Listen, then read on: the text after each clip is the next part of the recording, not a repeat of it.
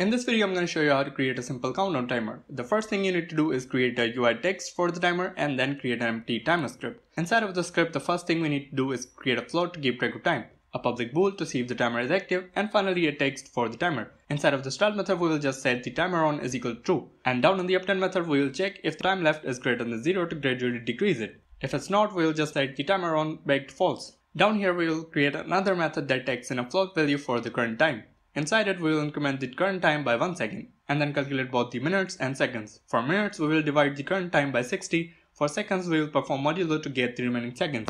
Lastly, just update the timer value to show on the screen with proper format, which is minutes colon seconds. And finally, just call the method here. Let's set in time and the timer text and hit play. As you can see, our countdown timer is working perfectly. So yeah, that's it for this video.